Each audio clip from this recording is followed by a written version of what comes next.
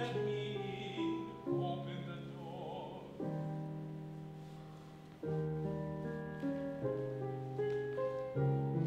i command you.